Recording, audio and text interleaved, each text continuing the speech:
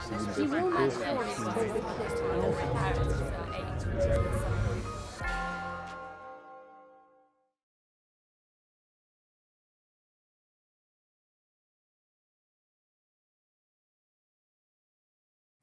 gives me great pleasure to welcome you all to the second and last lecture given in this year's Interfaith Lectures in the Humanitas program. My name is Johannes Zachhuber and I am the director of that particular program. I also teach uh, modern theology in the Faculty of Theology and Religion, and I'm a fellow at Trinity College, which is partly hosting these events. A very particular welcome, of course, is due to our speaker, Dr. Rowan Williams. Dr. Williams spoke last week for those of you who weren't there on faith, force, and authority. Does religious belief change our understanding of how power works in society? He used that opportunity to develop a number of deeply theological ideas about power and how they should change or influence the way we look at the operation of or the role of religious institutions and their relationship with political authority. His topic today leads on from there, well, I assume we'll know in a moment, um, and the title is Faith and Human Flourishing Religious Belief and ideals of maturity. And now, without further ado, I hand over to the man whom to hear you've come. Dr. Williams, we very much look forward to hearing you.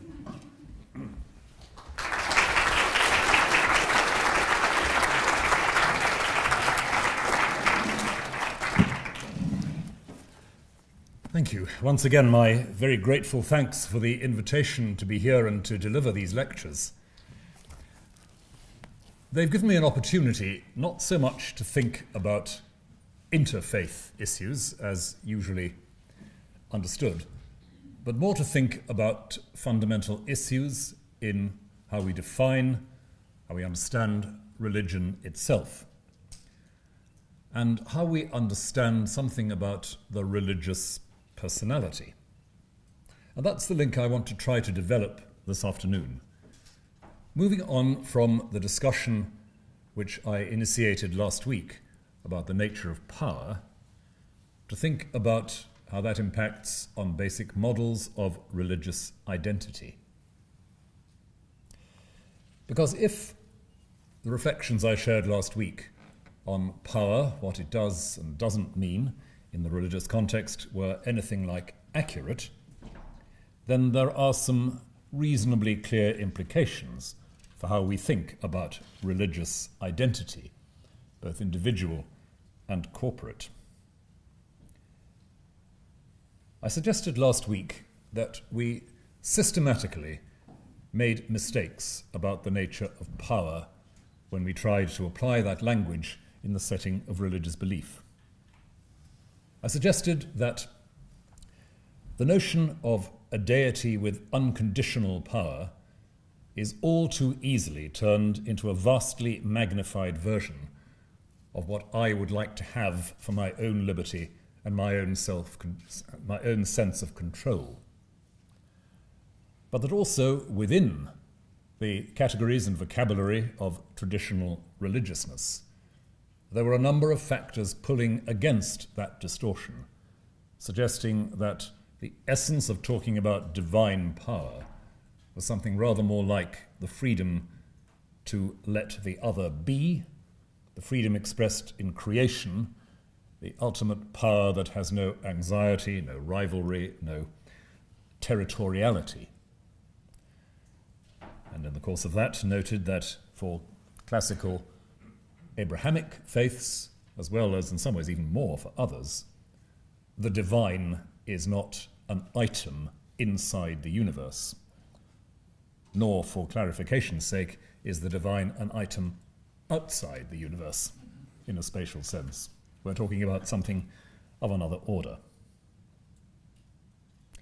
Now, quite often, religious identity is understood from within and without as having rather a lot to do with what philosophers, moral philosophers, call heteronomy. That is, the imposition of law, convention, norms from outside, from the other. And thus, religious identity is seen as having a very great deal to do with repression. To be religious on that account is to be subject to another's will, and therefore to be called upon to make dramatic and consistent self sacrifice. You won't need me to elaborate the ways in which that has been abused, distorted, and used for anti human purposes across the centuries. But the point is that if that account is correct, if that is what religious identity is about, then the two items in my title, religion and human flourishing, don't very easily belong together at the end of the day. On the other hand, if the sketch I offered last time of how we might, as religious people, understand power is correct, then the picture is more complex. And what I intend to do this afternoon is to try to spell out the implications of conceiving divine power in a certain way in relation to what might be the marks of a religiously shaped human maturity. If divine power is the absolute freedom to bring the other into being, without fear, without rivalry, without anxiety, then it would make no sense if human flourishing could only be achieved at the expense of God. It would make no sense if to be human were somehow to take some territory, some meaning, away from the meanings of God. That would only be the case if God were competing with us within the territory of the universe. Think of power in another sense, and that doesn't follow. So there must be some way of spelling out a religious idea of maturity and flourishing. And I'm going to suggest four lines of development here. Four themes which might suggest some of the things that are around as we seek to offer a definition of human maturity religiously informed. The themes are these. First of all, how we handle dependence and autonomy. How we handle dependence and autonomy. Secondly, the education of passion. I'll explain a bit more what I mean by that. The education of passion. Thirdly, the taking of time. And fourthly, the acceptance of mortality. Handling dependence and autonomy, educating the passions, taking time, accepting mortal- mortality. So to the first dependence and autonomy. Autonomy is very much an accepted ideal of modern and late modern culture. And it's perhaps a little bit too much of a cliche, though you often hear it from some religious people, that regarding autonomy as a supreme value is somehow mistaken. I don't want to overdo that, but I do think that there are issues in how we talk about, how we understand autonomy. Dependence is, after all, a condition of human life in certain senses. Importantly, inescapable. The long latency period of the human young, the phenomenon of language, the relative physical vulnerability of the human organism in its environment. All of these things build in to our distinctive human experience a character of inescapable receiving, formation by. To suppose that we are our own authors is to try and escape from some of these dimensions of our humanity. Negotiating what it means to be dependent is part of being human.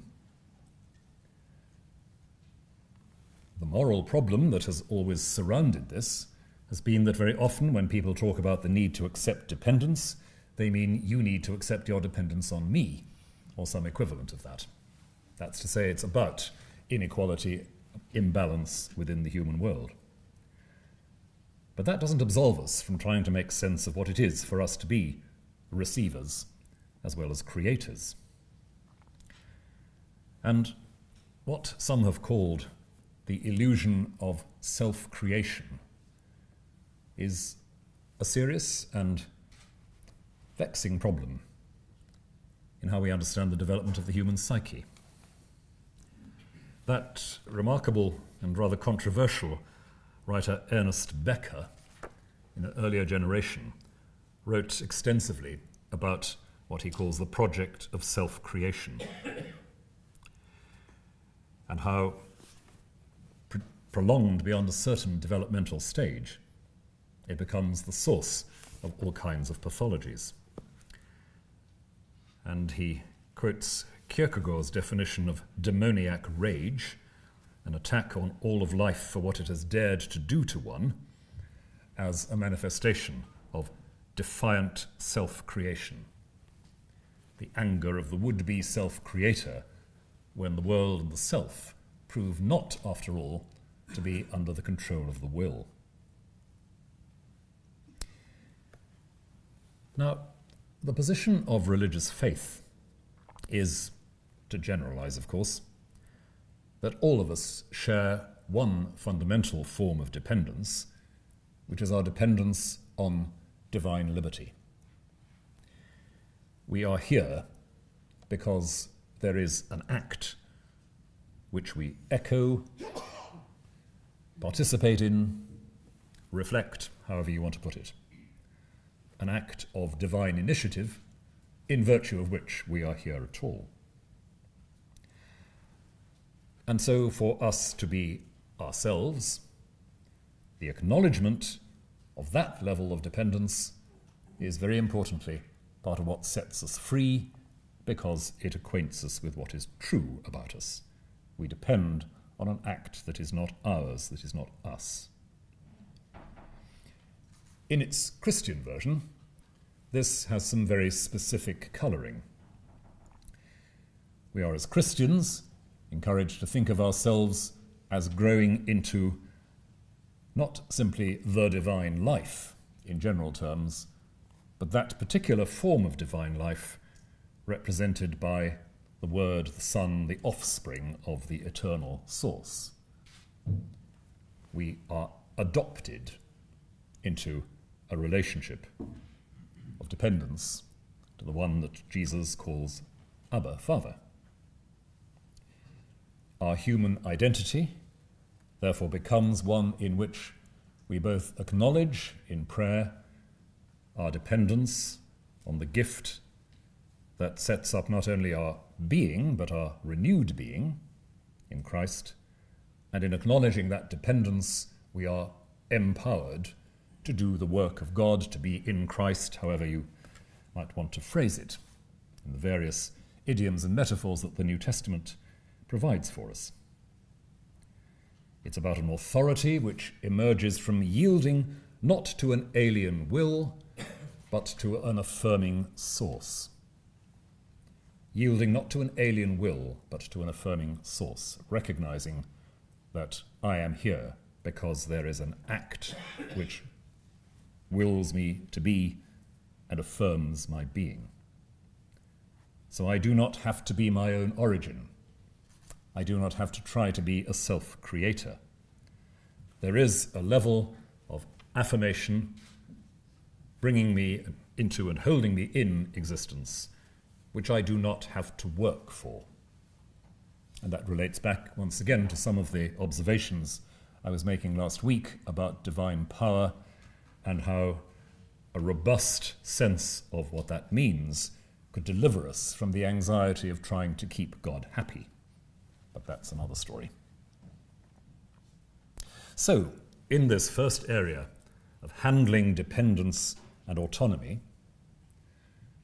one of the proposals of religious faith and religious language is that we are empowered, emancipated to exercise the transforming energy we can exercise by acknowledging our dependence on an unconditional source of affirmation.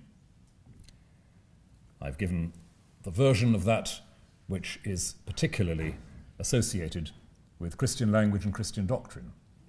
We could spend longer on what that means in other religious contexts.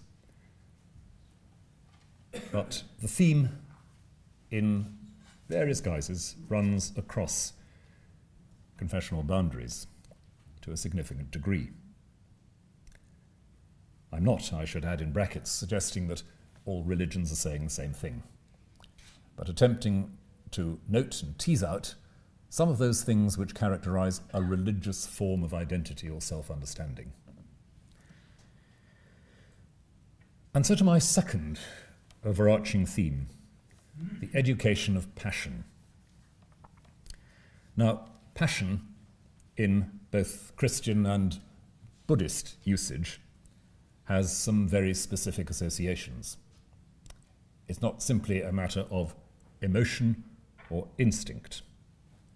The passions, as analysed and discussed, particularly in the ascetical literature, say of the 4th to the 8th century, in the Christian world, and indeed much longer in the Eastern Christian world, the passions are those disturbances of the proper or fruitful condition of the self associated with inappropriate response to outside stimuli. Prodded and stimulated into life by the environment we're in, we can, says the great Evagrius at the end of the fourth century, we can respond in a variety of ways, some human, some diabolical, and some divine. A human response, pragmatic and exploratory, a diabolical response which seeks to master an environment and turn it solely to the purposes of the ego, a divinized response which regards what is around us in its own right, in its own dignity, not seeking to make it serve our private ends. So, passion is the diabolical response. It is that response to an environment which is concerned simply to own and absorb, which is incapable of seeing what is in its own right, in its own dimensionality. And there are a number of ways in which uneducated passion can confirm our unfreedom, our moral and spiritual slavery. It's quite tempting to lift from our shoulders the burden of intelligent choice by naturalizing our motivations, by saying, These are the impulses I have, and therefore they need to be fulfilled. I don't need to reflect on them, assess them, discern them, choose between them. There they are. And lifting the burden of choice by appeal to an unexamined instinctual life is one of the obvious temptations we face there. And it can find its more contemporary forms in various versions of neurological determinism. I don't really choose, this is what happens in me. I don't act, things happen. But along with that, we can assume, with unexamined, uncriticized passion, we can assume this absolute givenness of our needs and desires gives us, as selves, a solid agenda which potentially has to be defended against others. And so buys back into that system of rivalry, zero sum gaming, and so forth, which we talked a little about last week. So that if I had to try and sum up what the word passion means in the classical Christian tradition, it seems to me to designate two things. the uncritical affirmation of the ego and the positioning of that ego in a state of struggle and rivalry. The uncritical affirmation of the ego, the positioning of the ego in a state of rivalry and contest. Major religious traditions, and I mentioned particularly Buddhism and Christianity here, offer both a diagnosis of passion and a pedagogy, a way of educating passion, not eradicating, but understanding. And that understanding has a lot to do with discerning what this life of passion serves, what its goals and products are. So, by putting our reflex, passionate responses to the world under scrutiny, we may find better what it is that those reflexes are aiming at, and perhaps understand better how to reroute some of their energy away from the world of contest, struggle, and rivalry. When Christians in that classical period of spiritual reflection between the 4th and the 8th century talked about apatheia as the Christian ideal, I don't need, I'm sure, to underline for you that that does not mean apathy. It doesn't even mean the total absence of this instinctual life. It means rather that state in which you are aware of your reflexes and your responses in such a way that you can think through them, sense your way towards a goal that is not purely self protective or acquisitive. And there's a good deal in the tradition about the proper use of passion, sometimes to undercut other sorts of passion. You can find there are some responses whose force, energy, or even relative violence can be deployed to knock other selfish instinctual behaviors off course. But that's to go into more detail than I want to discuss here. The point is, there is a diagnosis, there is a pedagogy. There is the possibility of being aware of how one responds and the possibility of intelligently reshaping that response. Turn to the Buddhist thought world, and of course the categories are dramatically different, and yet some of the issues are still around.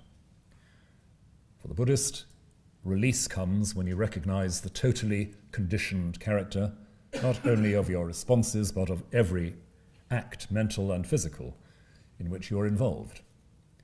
The beginning of wisdom is to dissolve the solidity of self feeling speech, and thought in order to create a different kind of space within the world, which, in at least some traditions of Buddhism, shows itself in what we call compassion.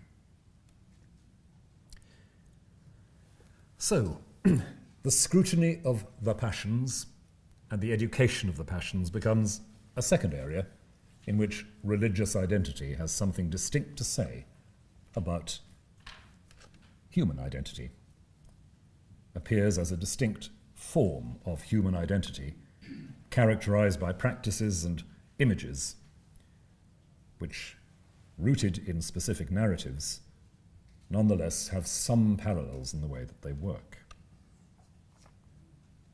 Now, my third area may be rather less obvious taking time. But I'd want to suggest that attitudes to time and the passage of time are deeply characteristic of distinctively religious behavior. People of faith do things with the calendar. As you know, one of the easiest default settings, if in doubt as to what to teach in religious education in schools, is to teach children about festivals. And although that can occasionally be anecdotal and unhelpful, behind it is a not completely faulty instinct that how religious communities spend their time is a serious and central theme. Time is not undifferentiated. its passing is marked in ways that are thought to be symbolically significant. So the passage of time becomes not just a trajectory of acquisition, acquiring property, acquiring power, acquiring security. The passage of time comes to be about the repeated accumulation, as you might say, of meaning. Returning to symbolic resources to rediscover aspects of the universe you inhabit, aspects of yourself, to reconnect specific ongoing experience with steady, regular, or rhythmical patterns laid out in the language and the practice of a religious community. You keep going back to the practices, the stories, the celebrations, the commemorations. And time, therefore, becomes neither simply cyclical nor simply linear. It moves, you change. At the same time, there is something to which you return to rediscover and enlarge the understanding acquired in the passage of time. But all of that adds up, of course, to dissolving any idea that time is a limited commodity, or indeed any kind of commodity, which has to be squeezed as hard as possible in order to keep the trajectory of acquisition going. Time becomes a complex and rich gift. It becomes the medium in which we not only grow and move forward, but also constructively return, resource, literally, resource ourselves. And there are deep implications within that for how we approach human work and human well being, and how we understand and how we cultivate a fruitful rhythm in action and human engagement. Increasingly, one of the marks of a fully and uncompromisingly secular environment is, of course, the notion of undifferentiated time. There are, for mature late capitalism, no such things as weekends.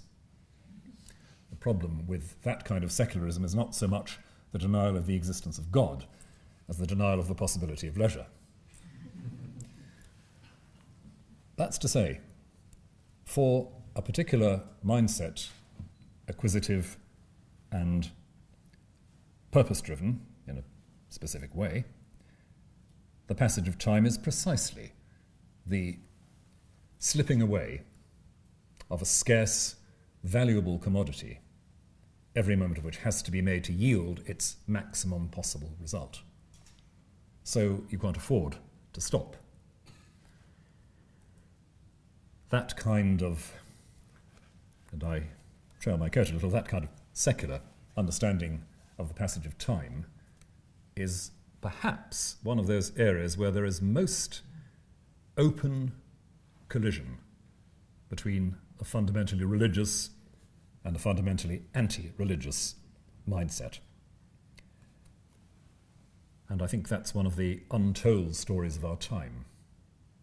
We imagine quite often, don't we, that the really fundamental collisions are around metaphysics or ethics. Perhaps there's another area at least as important, which is how we approach the time we are in, the time we spend, and indeed the time we waste.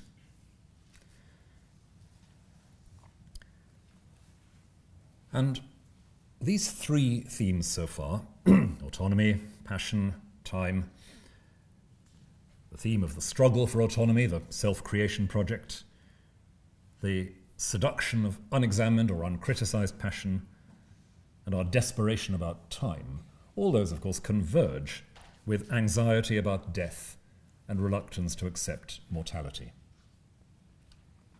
Our mortality tells us that every project we have is limited. There is something non negotiable about that absolute limit.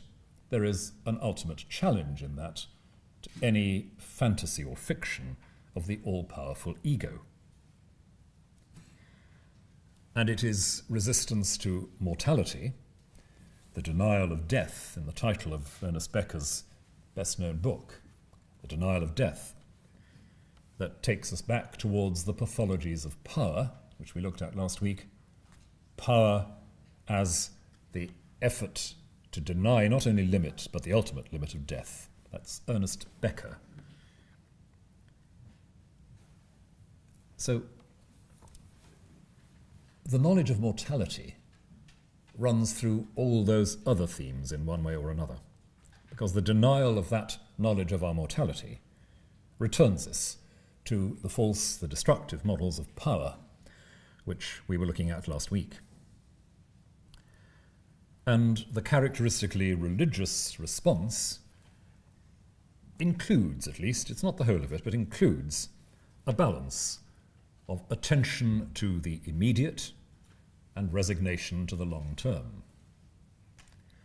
Redeem thy misspent time that's past, live each day as if twere thy last, says the Anglican hymn. That's to say, the attention to what is immediately to be done, along with acceptance of long term limit and long term ending, is what we're asked to do, what we're asked to engage in.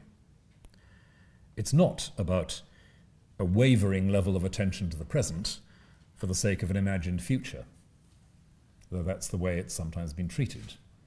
We're going to die, so we'd better have a plan. It's not quite what it's about. Well, those are my four areas proposed as some of the characteristics of a religious human identity, a flourishing human identity shaped by religious considerations, shaped by a conviction about a liberty on which we depend, convictions about the possibility of clarification by honesty and discipline of our instinctual life, shaped by a readiness to see the passage of time as symbolic and complex, not just an undifferentiated continuum which has to be filled, and shaped by an acceptance of the limit of mortality. Non disabling dependence, a freedom for self critique, patience and literacy in ritual, and lack of anxiety in the face of death. The absence of any or all of these is one of the contributory factors in dysfunctional human communities and dysfunctional human individuals. Those who are rebelling against any form of dependence, those who cannot cope with the notion of self question or self critique, those who wish to treat time, as I say, as something which has to be filled up, those who are in denial of their mortality.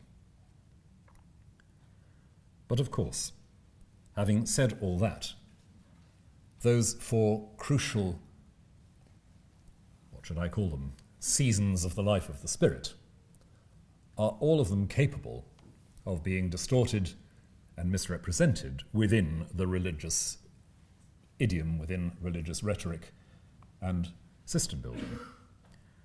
And if we're going to talk about those four as positive things, it's not unimportant to be aware of the negativity that can also be triggered. So, just to run through them briefly, what I call non disabling dependence can be replaced by infantilism, by love of dependence for its own sake divorced from any notion that dependence enables or liberates. Institutions and authorities, religious institutions and authorities, are, in case you haven't noticed, capable of very high degrees of infantilization of communities. And sometimes that is welcome to those for whom non disabling dependence is rather hard work, as of course it is. Instead of the critical and constructive approach to passion suggested by some aspects of the classical tradition, we can, of course, take refuge in emotional repression. We can elevate the will over the feelings, which is not at all what the classical discussion of passion is about. We can elevate the will over the feelings in the hope that somehow dangerous or uncontrollable or unpredictable instincts can be controlled by our decision.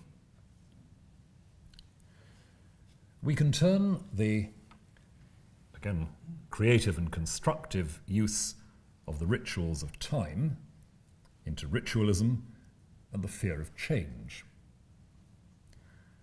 Instead of a sense of the sacredness of a time that is given us for constant cumulative rediscovery. And of course, religious language is more than capable of renewing and intensifying anxiety in the face of death, partly by certain kinds of talk about divine judgment. You have every reason to be afraid of death because of what's coming after. Or, of course, it can encourage you to ignore the present for the sake of a heavenly future in a consolatory and dishonest frame. So, all of those aspects of religiously shaped human flourishing are capable of being, in effect, turned on their head and distorted in ways like those. And if we are to avoid that kind of distortion, that kind of turning upside down of the what I believe to be the essentially constructive and flourishing models I've been trying to outline, we need, we need, I think, to go back to some of the fundamental points that I was hinting at in the first lecture. Points about power, divine power, and about the difference of God. That is, the fact that God is not a competing item inside the universe. If that is anything like clear, it will become, for example, a good deal easier to see that dependence on God is radically unlike yielding to someone else who is like you. Depending on God is radically unlike losing a struggle for power, losing your control, losing your autonomy. To be dependent, in that radical sense, on another human subject is to be in deep danger of repressive, dehumanizing patterns of relation. To depend on God, I believe in the context I've suggested, is something unlike that. Likewise, freedom from passion, apatheia, is not giving up what is natural for the sake of the supernatural, but learning a perspective on oneself, learning the right and wrong exercises of the will in this, identifying some of the ways in which self oriented responses to the world prevent us seeing what is there, and so allowing our vision, in some sense, to be cleansed. Imagery which is as, as potent in the Buddhist as in the Christian world and in many, many other contexts also. So that getting our perspectives a little clearer on the grammar of God, how we talk about God as God, that is not only to do with clarifying, purifying what we say about God, it is also, crucially, a purifying of what we find to say about ourselves. To see oneself afresh in this light and to learn the grammar of talk about God belong absolutely and inseparably together, which is why I've offered in these lectures a pairing of reflections on the power and transcendence of God and reflections on what it means for human beings to flourish. And so, if we are to recover any sense of religious commitment being more than just having a set of mental positions, usually seen as irrational mental positions, we need to refocus a bit on how we are as religious people, speaking of human flourishing? What is the human face that is being uncovered in the practices of faith? What's the human face that's being uncovered in the practices of faith? It's a question increasingly posed about the habits of our contemporary world. Richard Sennett's important work on the human and psychological effects of capitalism has posed the question what kind of human being does current global market practice presuppose, and what kind of human being does it nurture? Adding, of course, is that the kind of human being we want to be caught in a train carriage with? But the question is the same for any religious practice, habit, or system. What kind of human face is being uncovered? What sort of humanity is being educated, nourished, developed in this context by this language? And that is where, of course, the criticism of religion by those who don't share its commitments is of such essential importance.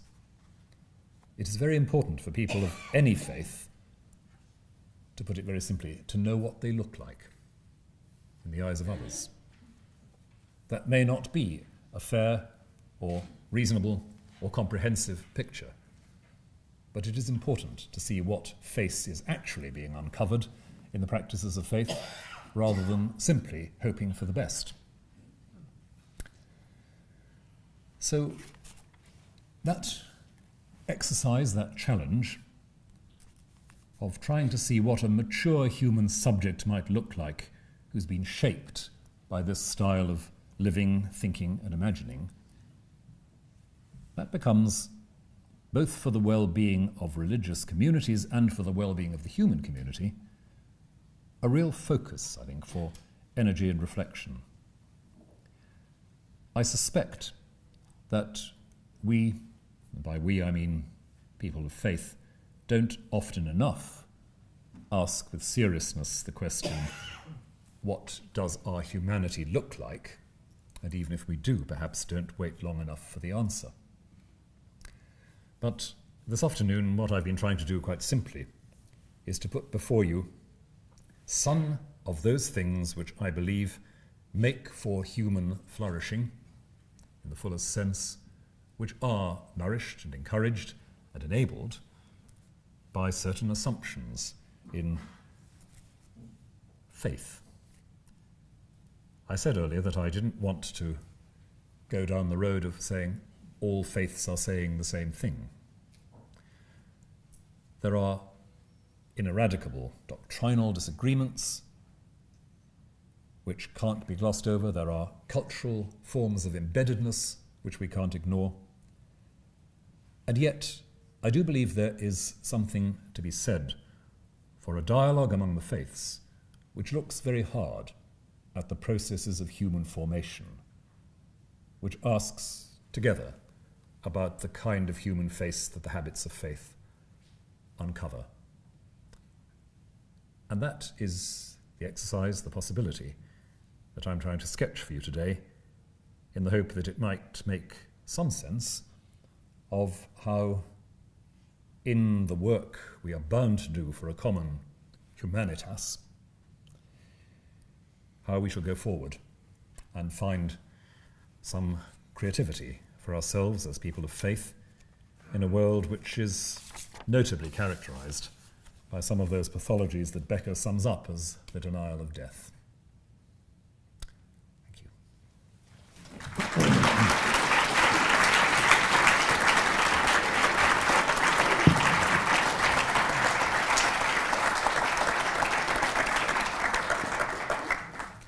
Well, thank you so very much indeed for your lecture.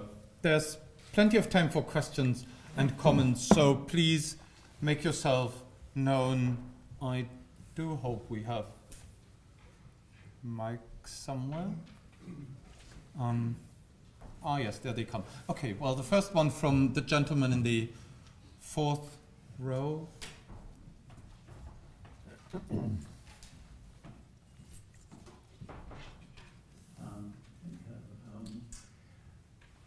I love how you have positioned um, us in terms of in relationship to God, which you did in your previous lecture as well as today, and you filled it out more today. And um, one of the things that struck me in your first lecture was how you talked about getting out of the way. And um, I suppose my, my question um, is around how you see the relationship with God um, when this maturing has taken place, if you like, or, or, when we've actually sort of incorporated or, or acknowledged um, this, I mean, this, because there's a lot of, like your four points, for example, um, uh, a non-disabling dependency is, is, is very, um, it, you know, it's, a, it's a still autonomy, you know, um, there's still a lot of passion, um, um, there's still um, uh, choice being made in terms of time, and an acknowledgement of mortality is an embracing of our life. And, and so the, uh, the relationship with God is one thing to acknowledge, and then to, and then to sort of recognize that, okay, um, uh, you know, this improves human flourishing. But there seems to be a point that what is my relationship to God when that is beginning to Mm. mature? And how do you see the role of the human being and God as an integrated, or if you do, I don't know, maybe you don't, Mm. I'm tempted to begin the answer by saying, well, I'll tell you when I've grown up. because I have to guess a bit about what it's like I for. thought you might speculate. I can speculate. I've, I'm fortunate enough to have seen some people who seem to, to have grown into it. And the speculation, I think, would go a bit like this. Um, the relationship with God, as it develops, becomes less and less a relationship with a simply imagined other like, like myself. More and more, a sense of communion is the only word we have, which is not absorption, but the sense of the other who resides in, in oneself. Something to do with what um, Christian contemplatives often talk about, which is one's self becoming right, the place where the second person of the Trinity happens. You, know, you, you are that, that locus for the prayer of Jesus in the Spirit to, to rise up. Um, and that, the intimacy that belongs with that, is and isn't like the intimacy we have in human communion. It's, it's a hint of something further, which our vocabulary is not very good at handling. But as that evolves, I'm thinking here especially of somebody like St. Teresa of Avila, um, who, in her account of the seven stages of contemplative growth, makes it very plain that somewhere near the end of the story, you are really losing a lot of orientation because the sense of a God who's simply there to be talked to becomes much harder to get at. And the sense of energy or pressure within much stronger, which means, as she says, you, you become both Mary and Martha. There isn't a, a gulf between the time you spend opening up to God and the time you spend in practical, prosaic service. That they're not easily pulled apart. And that doesn't mean you go around in a sort of cloud of mystical ecstasy. It means that a lot of the, um, the boundaries you've taken for granted begin to get much more problematic. And yet, the sense that emerges is of a set of human relations and human services ooh, which, which would be unthinkable without the relatedness to God that lay at their root, and yet those things aren't in, in contest or competition. And Teresa helps me guess, let's say, what that might look like. Um, there's a question here in the third row, Professor Hampson. Thank you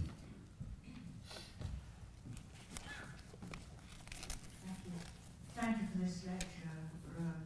Um, it occurs to me to say the following. Uh, on the one hand, I've heard Thomas Aquinas quoted as saying that God creates us not like a workman makes a chest, but like a singer sings a song, which seems to me exactly the kind of relationship you're talking about.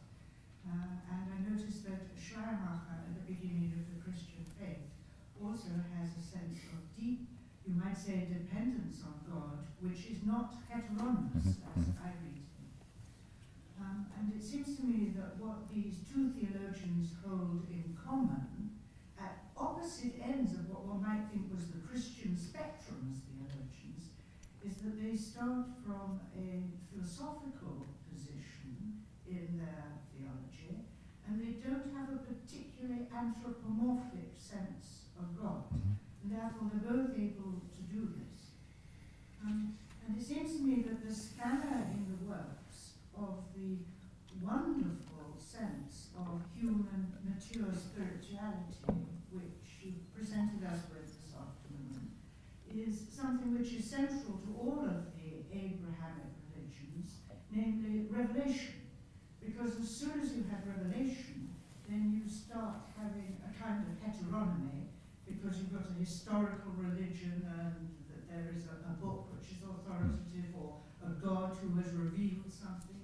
And by the same token, you have um, an, an anthropomorphic God or one who is represented in anthropomorphic terms. So while I appreciate what you're saying, it seems to me that it, it doesn't fit well with what the Abrahamic religions are Hmm. about. Thank you, Daphne. Um, I th- that's, and that is a massive question, obviously, which I shan't be able to answer adequately in a short response. But let me try and think aloud on this for a moment. Um, given that Thomas Aquinas did believe in revelation and somehow managed to put it together, you know, and as, as have others, um, Al Ghazali or Maimonides likewise. Um, I think it goes something like this. St. Thomas, like other Aristotelians, believes that what we know, we know because of the kind of world we're in. We don't detach our minds and send them in search of transcendent truth elsewhere. We know because of the relations that develop within this world.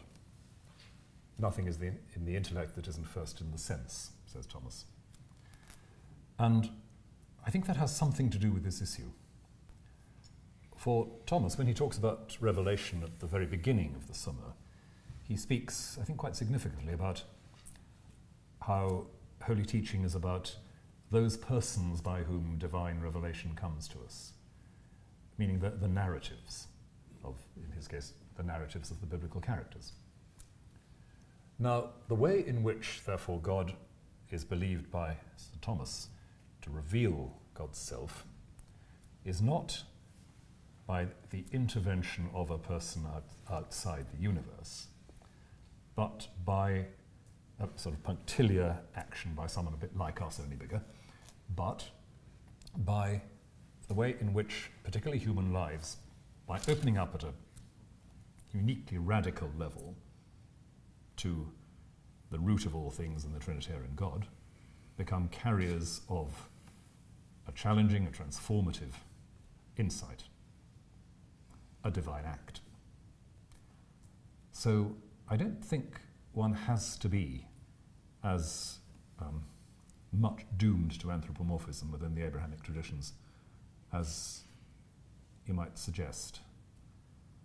But to elaborate that would take longer. That's where I'd begin, at least in, in the response. Um, there was a question, I think. Yes, over there, and the um, right there where you are, Sarah, the gentleman in black. And behind the gentleman in black as well. Oh, okay. Yeah. The lady with a blue scarf. Next one. there. I, I found the lecture uh, um, uh, very comfortable and comforting. There was one point. Oh dear.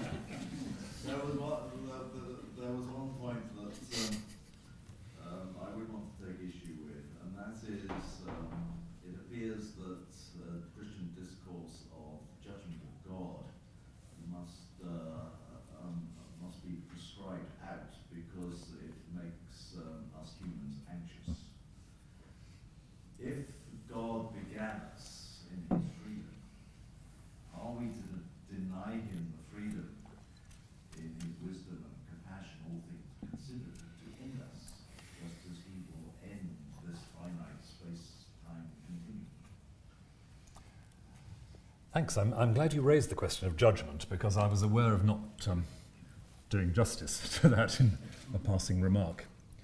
Um,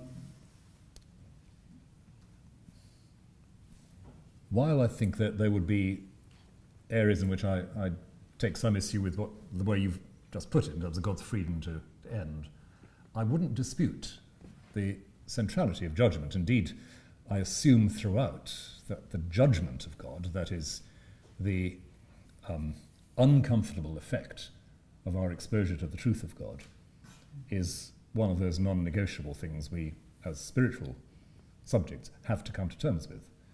To be before the, the naked judgment of God, the truth of God, is to have one's own evasions and failures exposed without, well, I won't say without mercy, but without qualification. We are shown in the light of God for what we are. That's the judgment which all of us are, I believe, summoned to. How one um, hooks that on with any precision to notions of the end of all things has never been straightforward, even in Christian scripture. You can see just how complicated it is. And um, I take great comfort from the fact that Jesus says of that day and that hour, no one knows. So, trying to make amends for a conscious overstatement in what I said, I think I'd um, approach it in terms something like this. The anxiety surrounding death, understood as an anxiety about the limit to my projects and my proposals, understood as an anxiety about the ultimate loss of control, that is an anxiety which people of faith ought to be growing beyond. But the anxiety, not anxiety, the, um, let's say the proper apprehension of what it might be like to be confronted with the truth without defense is a proper apprehension. In that sense, the strand within Christian tradition of reflecting on death as an ascetical exercise makes perfect sense to me. I just want to pull that apart from you know, the self-defensive anxiety of, uh, oh, death is, death is a nuisance. Um, as in King Lear, when Oswald, isn't it, is killed by Edgar, just the moment when he's going to become rich and famous. And he says, Death, death, untimely death. Damn it, he was, ju- was just going to become all right, and now he dies. and that the anxiety about death, which is about is the brick wall we meet in imagination, that's something we drop. The um, whatever you want to call it, the sober apprehension, the, the godly fear of what it might be to be exposed to the truth, that we should be cultivating. Thank you so much.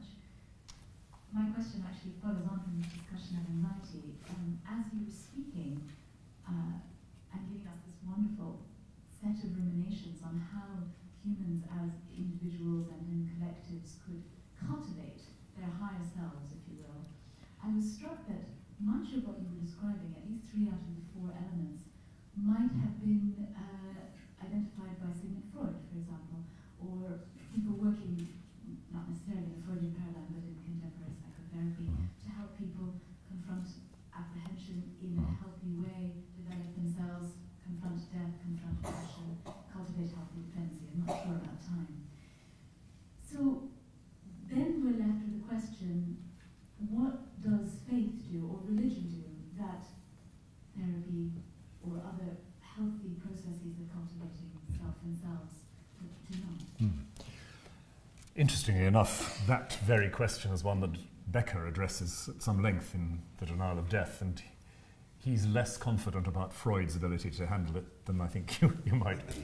But no, no, but, but Freud, Freud's an interesting case in point um, because um, Freud's deeply tragic sense of the human, which to, to me is one of the greatest things about Freud as a, as a thinker, um, does at times, Becker and others suggest, make the, the non disabling dependence side of it really quite difficult for him.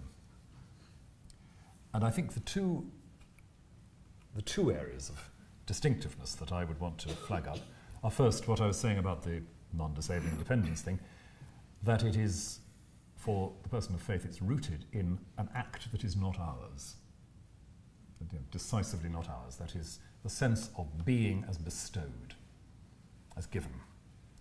Something um, gratuitous on which we rest, which is the free act of love in Christian and Abrahamic context. And then you're quite right, the, um, the management of time is something which is not quite the same in these worlds, though I think a good therapist would no, no doubt say that the proper handling of your rituals is part of, of healing. So for me, it's, it's in that first characteristic that the, the distinctive thing comes in. And in a sense, the other things flow from that. As a sense of giftedness in existence. Thanks very much. Um, I just wanted to ask a question because passion has often mm-hmm. been kind of placed in opposition to reason or rationality. And I think in some ways we do live in an age or a space where reason and rationality are actually given incredible credence and incredible respect. So I wondered if you might be able to sketch for us how it is that you set um, upon passion needs to be educated as opposed to reason or rationality itself. Oh, yes. Well, that's very interesting. Um, I wouldn't at all mind talking about the education of rationality um, because I, I, do think we're, we're stuck with a particularly bloodless and mechanical view of rationality very often. Up until, I suppose, about the 12th century in Europe, reason was not so much a method of arguing as a capacity to attune to the order of things. So, in the famous dispute between St. Bernard and Peter Abelard in the 12th century, Bernard's objection to Abelard is not so much that Abelard is exalting reason over faith, as that Abelard is using a model of reason which Bernard doesn't recognize. Bernard wants to say, well, to be reasonable is to have this capacity to, to know where you belong in the world, to, you know, to sense your connectedness with the world and the orderliness of, of God's creation. And there is Abelard talking about levels of probability in argument, and says that's, that's not what it's about. Now, Abelard is, of course, a hugely important figure in the development of scholastic theology.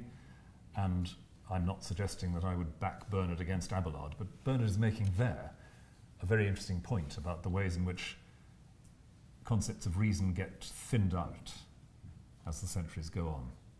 So I think if I were talking about the education of reason, that, that's one of the points I might want to pick up. Um,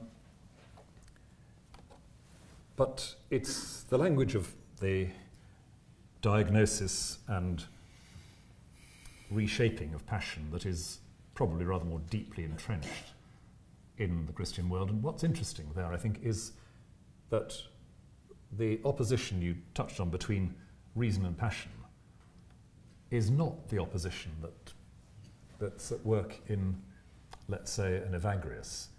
Passion is not opposed to reason, passion is opposed to, to peace, even to nature times our natural functioning is when the passions are not uh, pulling us this way and that and driving us to dominant and exploitative patterns of relation with the world. So it's always worth asking with words like reason or passion, what are people not saying when they're using them? And the reason passion thing, as we've inherited on the whole from the 18th century, doesn't work very well with, with the earlier religious framework. And of course, that vocabulary would be different again in um, a Muslim or Buddhist environment. I think if you looked at some of the ways in which um, at least some Muslim philosophy and jurisprudence evolves in the Middle Ages, you would see there again a, a concept of reason, which is not at all 18th century, unsurprisingly, and perhaps has more in common with, with Sir Bernard.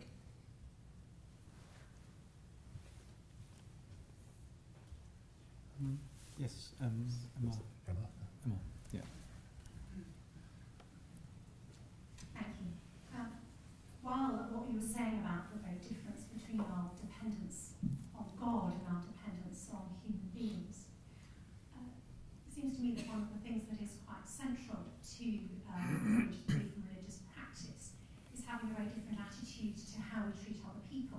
and moving uh, into sort of models of interdependence and mutuality, and that that actually being in some way part of uh, some of the other points you were making about how we educate our passions and I'd just like to hear more about how this relates to the sense of community, human Mm. interaction.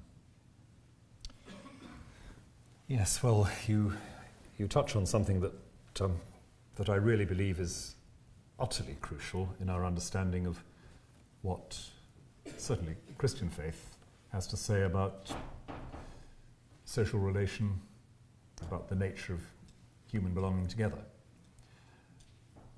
In Christian scripture, the governing metaphor for the, the reassembled community around Jesus, the, the sort of renewed humanity, the governing metaphor is the body. That is to say, a metaphor in which you take for granted that every participant in this community has a distinctive and irreplaceable combination, um, contribution to make to the welfare of every other and of the whole. And it's that sense of an irreplaceable gift in each that, that, to me, is one of the keystones of proper Christian ethic. To respect the dignity or the liberty or the right of another human subject is not as, or just to accord them a status. It is to say there is some level at which I and others need the irreplaceable gift that is, that is there in this particular person. I think that's one of the implications of the way the metaphor of the body is developed. And so that, um, that particular way of coming at interdependence is, for me, certainly one of the distinctives about a, a Christian ethic. And again, I, I leave the question open as to how it works in other religious vocabularies, but that's, that's where I stand and where I, where I find the, the uniqueness, sorry, unique, yes, the uniqueness of the Christian picture as against secular versions of togetherness or of rights or of dignity, even. Something is given. Once again, it's a reflection or a, facet of the fundamental bestowal that, that the believer is committed to behind and within all things. So, it's one of the ways, I think, in which we, how should I say it, we can re educate ourselves in understanding dependence when we understand interdependence and when we move rather away from question of do I depend on somebody else or don't I? Well, I don't want to depend on anyone. Yes, but they depend on you in some important senses. The whole um, endless kind of pass the parcel, of the gifts of the Spirit comes into play there. So thank you for raising that because the word is important, I think, and and distinctive. The next question comes right from the back, and then there's one um, at the other side of room. How can we see the relationship, the, the desideratum of reaching a point where we don't see God through any image with the notion of person in Christianity? Hmm. Thank you. A really important point that. Um, once again, I, my initial panicked response is to say, well, there's been an awful lot of quite serious Christian writers who don't seem to have found it a problem, so why do I? but trying to address it. When we talk of the personal character of the Christian or Jewish or Muslim God, we are, I think, saying what was expressed by some modern writers, saying that there is that about God which is at least personal.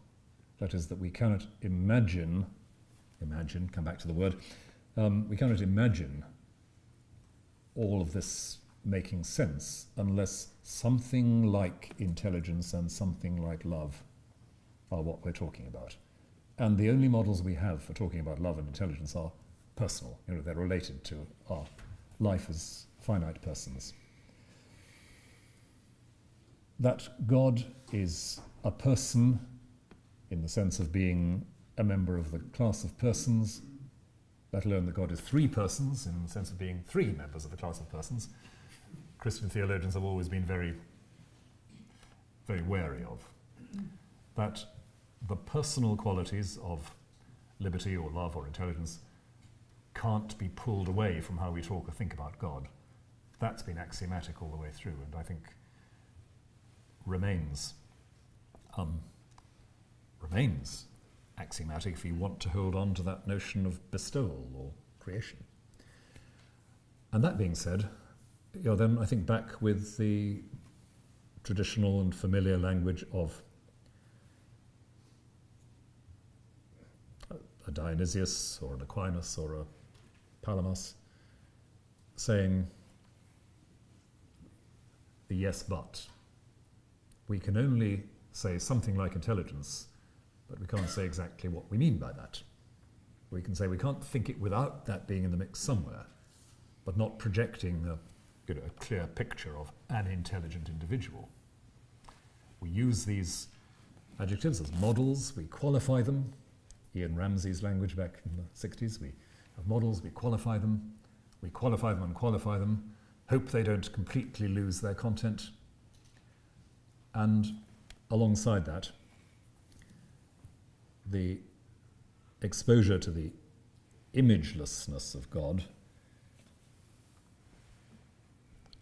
is simply a matter of constant practice, self questioning again, um, clearing out the projections, the self serving models that we repeatedly draw in there. So, a complex business, and always has been, and it's not going to get any easier, I think. But the two things, the two points where you, as it were, nail down the, the cloth are, on the one hand, there is no accurate image of God as God. We talk of Christ as the image of the Father, meaning that's, that's the particular bit of history where certain things come alive. We don't talk about reproductions or imitations. So, you know, we can't have an adequate picture. At the other end, knowing we can't avoid returning again and again to the language of love and intelligence to make sense of what we're talking about. We shuffle back and forth between those, I think, all the time. Uh, yes, please. Somebody there was somebody, yeah. Yes. Um, I may be about to be horrendously contradictory, but do you feel there is any place for sort of suffering or negativity in human flourishing? Hmm. Yeah, I mean, you're right. There, there is a sort of prima facie contradiction there, isn't there? To say um, flourishing includes suffering. um, I suppose I'd want to come at that by saying depends whether you depends how static you want to be about it. Um, if you want to talk about, as a Buddhist or a Hindu, and many Christians want to talk about bliss as what we are made for, then I think, bluntly, that is a condition in which we are utterly at home with the reality of ourselves and, and our God. That, you know, that's it. But flourishing, as we use it about actual human lives lived in time, and I think this perhaps is the, the edge of your question, um,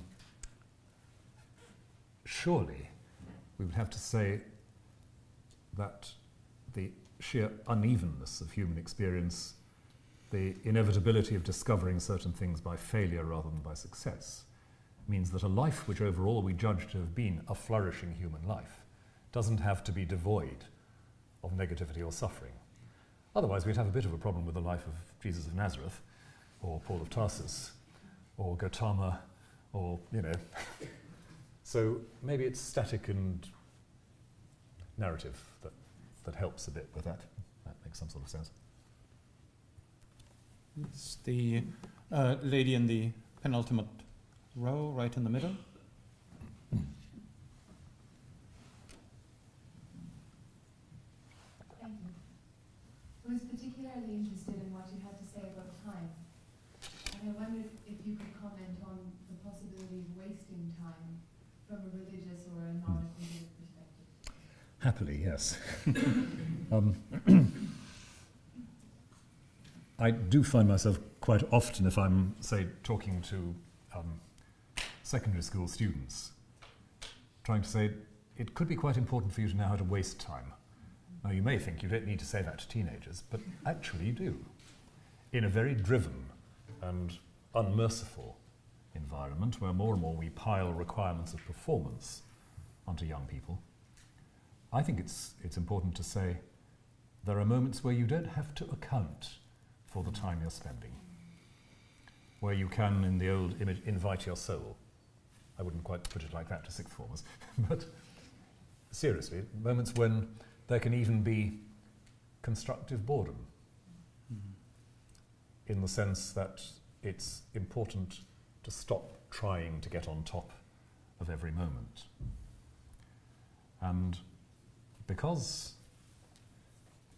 um, this is a bit counterintuitive for all of us anxious people, then either obsessional work patterns or hectic leisure patterns want to make a, a bid to, to grab everything.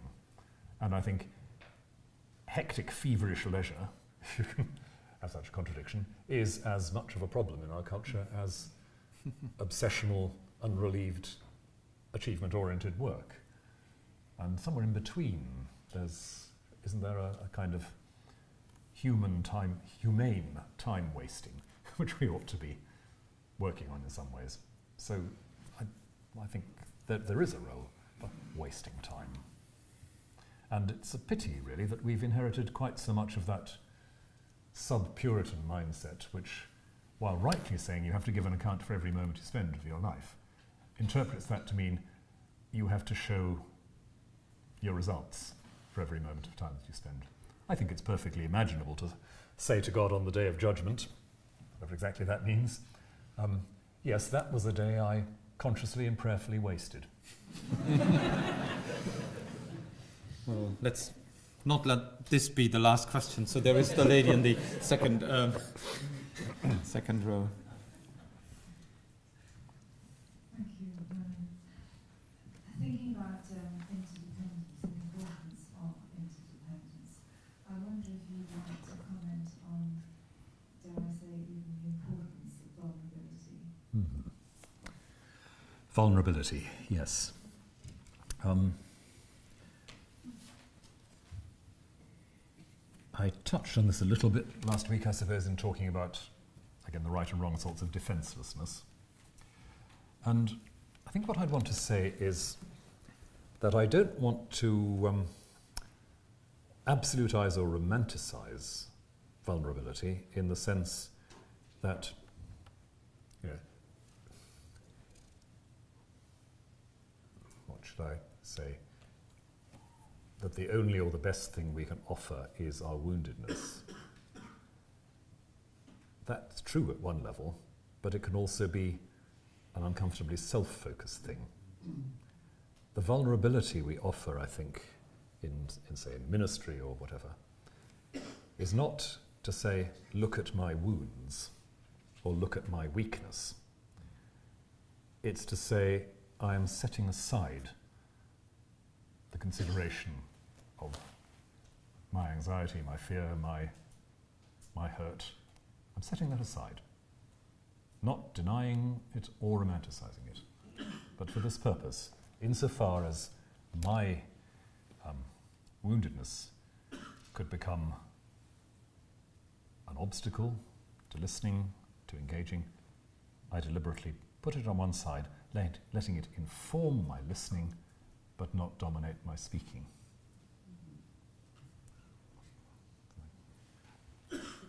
Let's see, there's time for one last question. Um, yes, the gentleman here.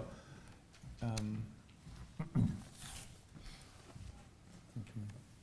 Uh, one thing that I have been wondering about uh, how to express is the afterlife, in the sense that actually you talked about judgment, Mhm. and in a way, what you've said is that we expect to be judged uh, on different qualities than the old-fashioned sort of Christian teaching of observance of the rules. But at the same time, there are so many people who think that um, it doesn't matter what happens here because an afterlife is what counts. But um, I have difficulty with I think it's absolutely right that um, the attitude that says it doesn't matter what happens here because it's the afterlife, because I think that is a, a very dangerous approach, and it's certainly not one that's um, shared by the most serious Christian commentators over the centuries. But let's just pause for a moment on your first point. Um, I think the notion that we are judged not on our keeping of the rules but on something else is one that's already there in the Gospels, in a sense. Um, and just as Jesus in the Gospels is not saying ignore rules, but understand that rules are about the kind of person you are becoming, then I think you know that does run right through. It's St. John of the Cross in the 16th century who says, In the evening of our life, it will be on love that we are examined. So, the conviction that there is beyond death, however we express that, that moment of confrontation with the truth, I think ought to make us, as I hinted, deeply conscious of the significance of every moment that passes. Because becoming more or less attuned to the truth is what happens moment by moment you know, in, in every encounter. It's possible for me to get a little bit further towards or a little bit further away from that fundamental, um, all defining honesty. And it's only in that way that I become the person who finally sees God in the face. So I think proper attitude to death and judgment is one that quite simply says, and the next 30 seconds are decisive, and the 30 seconds after that, and the 30 seconds after that. Don't take your eye off the ball. Look at what's in front of your eyes. That's where it starts. Um, if I can be sermonic for a moment, if I haven't already been, um, I've sometimes said that what's going on in the temptation stories in the Gospels is, at least in part, the devil saying to Jesus, Take your eye off the present for the sake of, of the future. Take your eye off the real world in favour of the imagined world where I can give you all you want. And the refusal of the temptation is the affirmation that it's here and now, that the presence of God is encountered, the will of God is discovered, and our own humanity is shaped the next 30 seconds and the 30 seconds after that. Right, we've come to the end of our time and the end of this series, so it's time for me to say a few thank yous. Thank you, first of all, to all of you for coming and participating, especially those who've asked questions. Thank you in particular to the Institute for Strategic Dialogue and the Research Center in the Humanities, whose um, colleagues did a lot of the groundwork to make these events possible.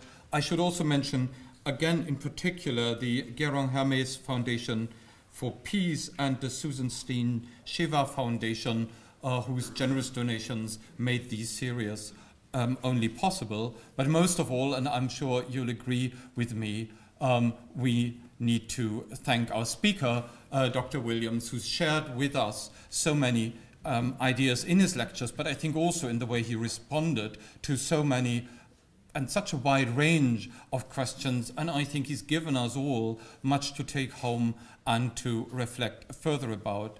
And so I'm sure you'll join me in thanking um, Rowan once again.